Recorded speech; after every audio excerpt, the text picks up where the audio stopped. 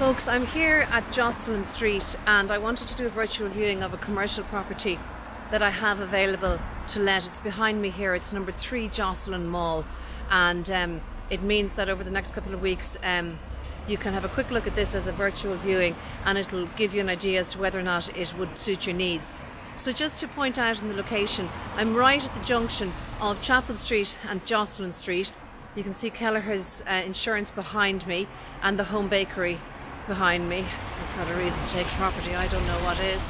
Anyway, um, and you can see there the museum is down there, and then behind me over there is the uh, library. So we're going to go ahead and have a look inside. Um, here we are from the front. Um, it's actually a lot more spacious. It's it's a very surprising space inside. Um, and what you, what I'm going to show you is I just uh, we're due to get a little bit of tidying up and bits and pieces done here, but because of the timing, I just said I'd go ahead and show this to you. Okay, so hopefully that's all right. So first, I'm into the entrance area. Okay, the property is alarmed. It has natural gas heating. And this is the main, this is the open plan area on the ground floor. Super big space. Also very adaptable if enclosed spaces, cubicles was was to your needs, it could suit that purpose as well. Um, but a very flexible space. Um, it's got good window frontage as well if you wanted that. Now, see that it's great, great space. So at the end of that space, then you have an enclosure here. This is sort of ideal for your admin files, photocopiers, that kind of thing, or even a little other breakout space. And then in here, um, we have an enclosed office or meeting room. Okay, so I'll just show you that.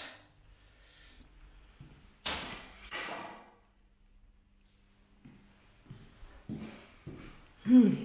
Now, Okay, so obviously you get good visibility out onto the open plan area there if you wanted it.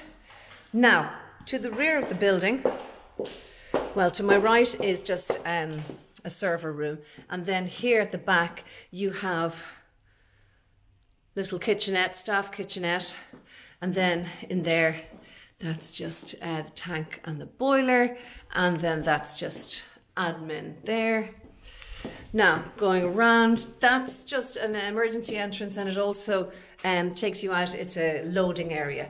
Then I have a big first floor here to show you. And I should say, at the back of that building, it goes to the back of the library and the museum. Now, this looks, it's, it's badly lit, but it's mainly because the walls are painted very dark, so I'm just going to go straight through. That's gents' toilets, ladies' toilets, bit of storage along there, and then you're out into another big open plan space.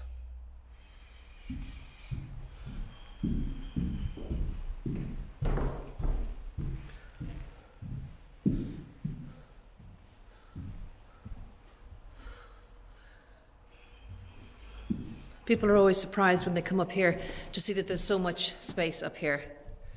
Okay, skylight windows there. And then um, lighting again it just, some of the lights have been changed for these sort of coloured light lark. So that, you know, that's just why it may seem a little bit dark here.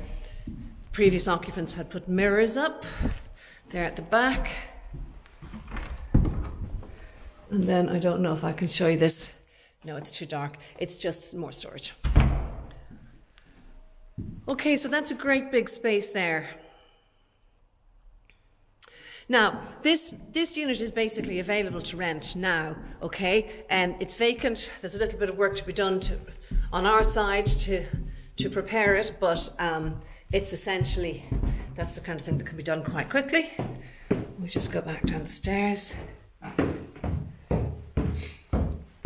There isn't any parking with this. However, um, you're very close to the parking at the back of the library and the long term parking across from that of the ramparts. So there's uh, very ample parking around. Now,